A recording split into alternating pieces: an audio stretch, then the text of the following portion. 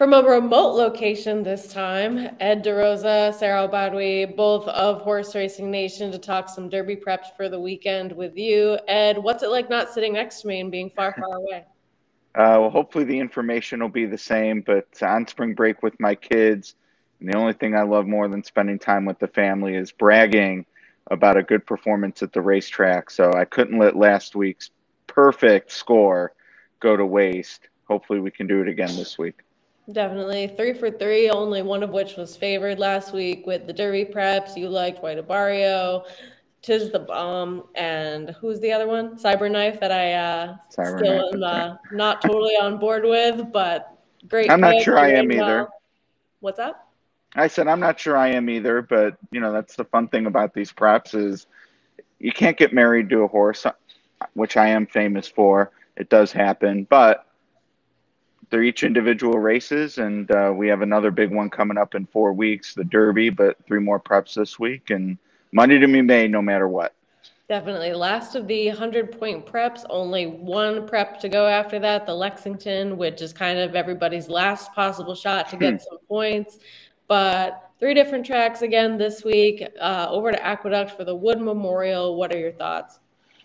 Uh, this is probably the biggest price I'll have on top, unquestionably. In fact, because uh, I do think Barese uh, eight to one on the morning line. Uh, I went to the replay well. Uh, was it last week that we talked about that? And I actually uh, wanted to go back to it again because the chart comments for this one on the last two very wide. the chart would have you believe, and I don't I'm, I'm not, want to say that was by design, but I will say I thought the horse in both those instances against state breds was much the best, and they just kept him out of trouble. Wood Memorial is definitely uh, much deeper waters for the Son of Laoban, and I do think Nine Furlongs probably going to be testing uh, the stamina influence, given that he's out of a successful appeal mare.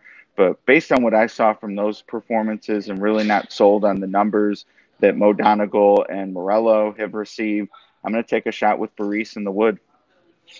I like it. I think that I see a New York bred coming out to face a tougher open company this time out. And while he certainly has a shot, it's not really where I'm going hmm. here. Um, I'm going to go to early voting.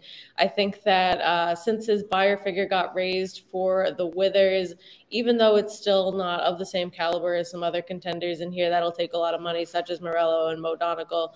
Um, I think just the way he did it, having the early speed on the front end in here, and um, I think that he's the horse that's moving in the right direction. We saw Un Ojo come back to win at a giant price, then maybe has a little bit of an excuse last time out with the hitting the rail. So I still think that that race is pretty um, indicative of a decent performance. There was another one um, in his maiden race, actually, that came back to win um, next time out, Iconic Adventure at Gulfstream Park. So he's been facing horses that have been able to step up and win or win again. And I think that of the Chad Browns that we're going to be seeing this weekend, obviously Zandon more battle tested than he is, who we'll hmm. talk about in the bluegrass. But I think that he's interesting in here, and I like his chances. I'm with you though about being against Mo Donegal and Morello. I think that those horses, Mo Donegal doesn't have the early speed at all has done some kind of silly type green things in his different races. And obviously there's talent there, but I want to see him actually get a win. And then Morello, a horse that has been winning, I don't think he's been facing super tough company. So I'd like to see another one from him.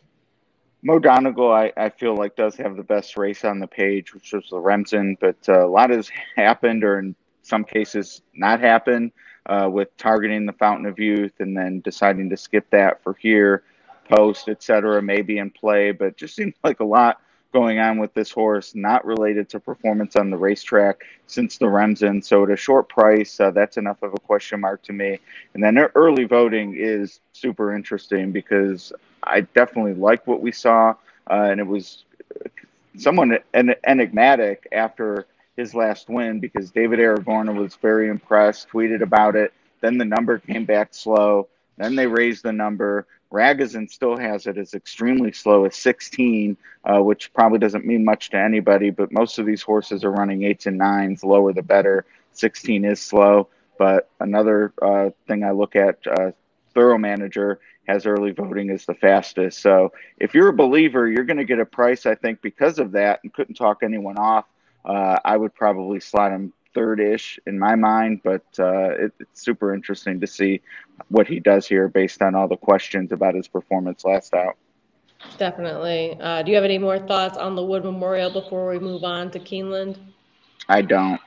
I, I, would I would uh, I would say the Derby winner not coming from the Wood Memorial. Um, and I think it's what 30, 39, something in the 30s of a race streak of 04 in the Derby from the Wood Memorial. So not that it hasn't produced some high quality horses that then come back and win high quality stakes races, but as far as the Derby is concerned, not the most productive prep that we've seen in recent years. No, certainly in the points era. Right. Um, Keeneland Saturday for the Bluegrass Stakes will actually both be there in person to witness uh, the return of Smile Happy, a horse that I know Mark, our uh, CEO at Horse Racing Nation, is quite high on and is a big fan of. We know Mattress Mac is as well, uh, nine to five favorite in the Bluegrass, taking a shot against or uh, thinking he's too good. Uh, so this is one of those races as a public handicapper, so to speak, I struggle with because uh, I will say that Smile Happy is going to be my public selection. Uh, now, if Mattress Mac's involved in the pools, it might be impossible to bet him to win, uh, but I do think he's the most likely winner. And at two to one, uh, nine to five, maybe a little light, but at two to one, uh, I think that would be fair. Uh, my issue with this race is I think Command Performance, uh, the, the Maiden, and then Rattle and Roll. Uh, they're 12 and 8 to 1 on the morning line, respectively. Uh, to me, it's about getting one of those, maybe in the top two, uh, perhaps a trifecta if you get them both in, and then it doesn't really matter who wins with them. So, in my mind, Smile Happy, not enough just to have them to win, uh, I think command performance and rattle and roll are sort of the keys uh, to wagering on the race. But uh, I do think Smile Happy is the most likely winner. I do know uh, that Kenny probably, well, I shouldn't say I know, my sense is Kenny feels some pressure uh, given Mattress Mac not involved at all in the ownership of this horse in particular, but he knows the money's there. He knows this horse has been the individual favorite in the Derby pools because of Mattress Mac. All eyes are on him. With the win, uh, he would sort of uh, support that and give Kenny probably his best shot uh, to win the Derby since way back when with Harlan's Holiday, who also won the Bluegrass. So uh, I think he's well met for this spot. It's not their Derby, but I think Kenny feels like they want to go in with a win and not just a prep. Uh, so he is my pick on top. And certainly a good horse um, coming out of the same race as my top pick in here is Zandon both defeated by Epicenter, who then came back with a stellar performance in the Louisiana Derby. You were there for that as well. Showed that he could rate that day. So they've been facing the highest of quality that we've seen in these Derby preps, at least so a lot of people believe. And Epicenter probably right now the likely favorite to win the Derby, pending whatever happens on Saturday. Um, but Zandon is going to be my top choice in here. I would just love to see him get a clean trip, and maybe he's second best to Smile Happy with both um, getting the right setup for both of them, and then there's no knocks on either of them, and that's just the way things shake out, and it's a fairly run race. But he, had a bad break last time out, and then in the Remsen with um, everything that happened with Mo Donegal of you know being pushed into the rail and not exactly like totally into the rail, but made it super tight on him. Lengthy inquiry for that race, following um, then the suspension for Irad, and so I would love to see him just get a clean trip, and maybe he's second best, and that's just how it turns out. But that's what I'm looking for for him. I think he's a high quality horse, and I know that I'm sure Chad is looking for a fair race for this guy as well. And Chad uh, did not win last year with the Bluegrass, but certainly came in guns blazing with highly motivated, who did just get beat by Essential Quality. So a great renewal last year. What do you make of Emmanuel? I think you and I uh, are the only two handicappers I've seen not pick him.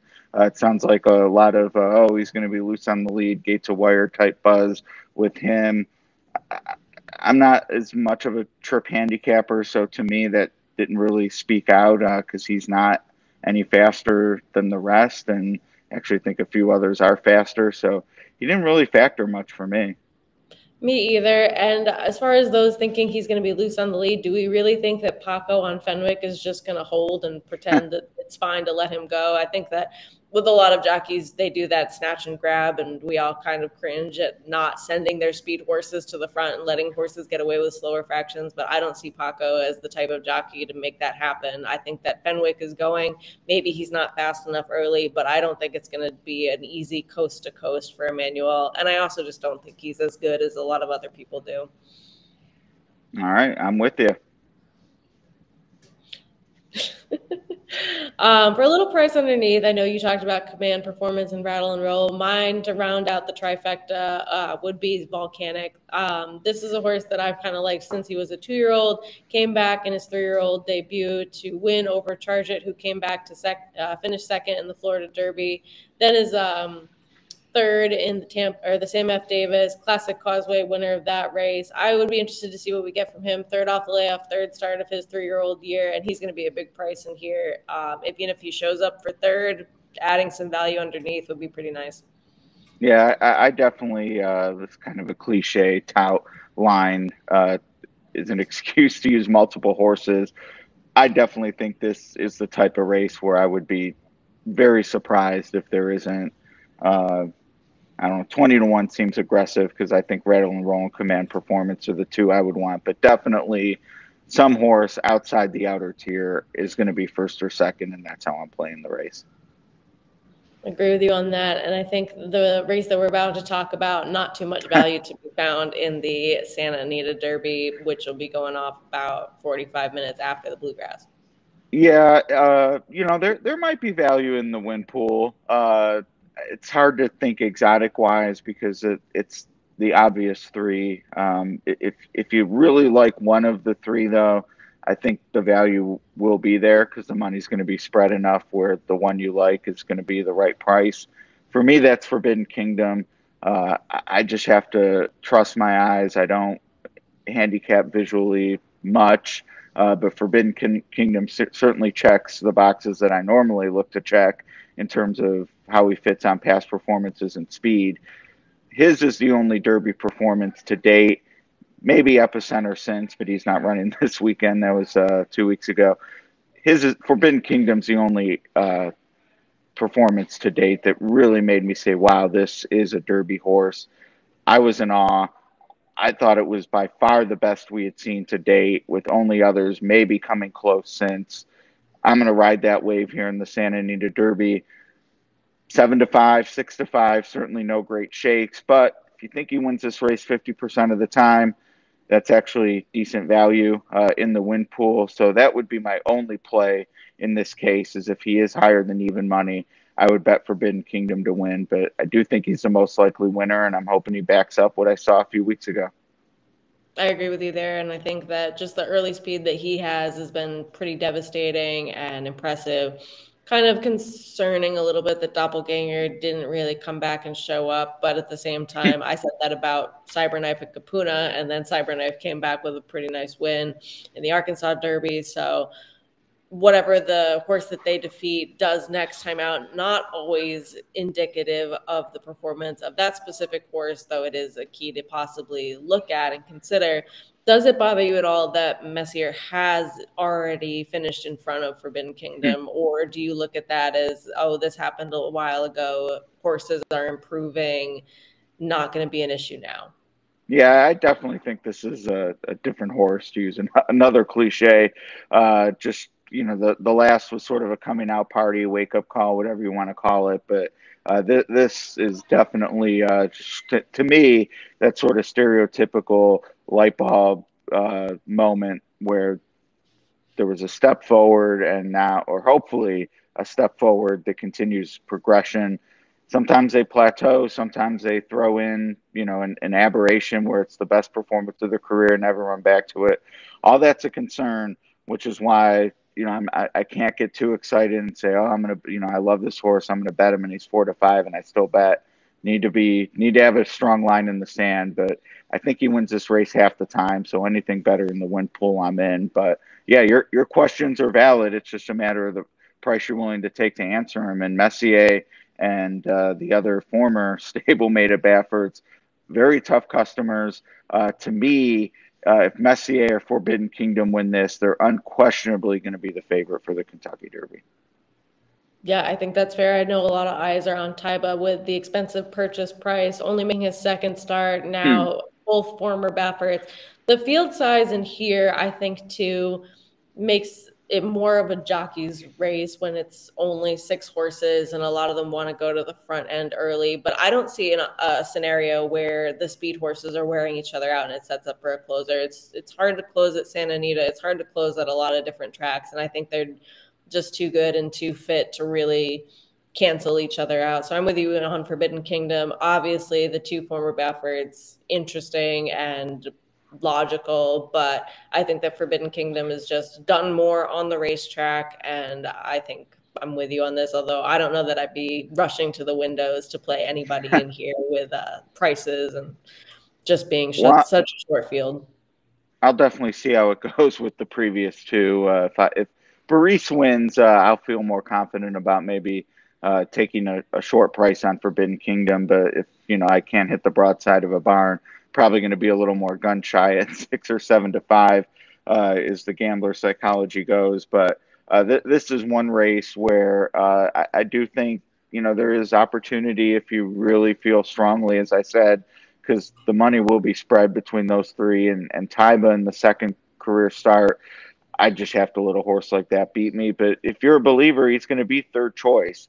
So if you just think, man, this is, you know, this horse is the truth, the, the next justify, whatever you want to say about him, you're going to get your price too, but he's just not for me.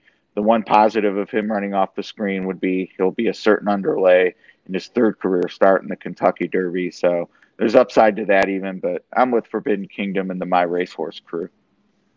Very nice. And we know there's a lot of them out there. So. There's a lot of them out there, and, and they do bet. So that's another thing in the win pool. Uh, even on the big days, their money is felt uh, in the pools, which is great. Uh, but unfortunately, sometimes can make a, a horse uh, yeah, un- unbettable. Uh, don't think that'll be the case here because uh, the, the Baffert fans, they like their horses too. And have reasons to be cheering for the, the former Baffert pupils. so it, it's going to be a fun race.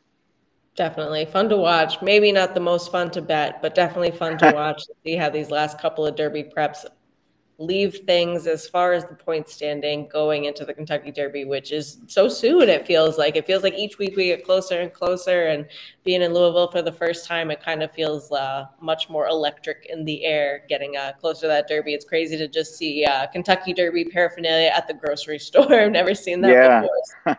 nice. Well, and uh, it's reasonably priced as well. So beat beat the lines at the gift shop at Churchill, and uh, yeah, if you see something you like, the prices at the grocery store are legit, and uh, it's a festival in Louisville, so uh, definitely enjoy it. And being downtown certainly should add to it for us as well. It's HRN headquarters, so uh, yeah, I feel like once the preps are over, it's officially Derby time in Louisville. Exciting stuff. You'll be back just in time for all the buzz and excitement. Um, probably run into you on Saturday for Bluegrass Day. But until then, any final closing thoughts? No, I think uh, Santa Anita Derby is going to have the Kentucky Derby favorite, and the other two certainly will add some spice to the mix. But uh, I think we're pretty much down to epicenter and the Santa Anita Derby winner as the horses we're all excited about. All right. Well, we'll see what happens in the preps and then eventually the actual run for the roses itself. And I'll see you soon. All right. Good luck this weekend, everybody. Make sure you are liking and subscribing to the Horse Racing Nation YouTube channel for more on all of the Derby preps, Derby itself. See you soon.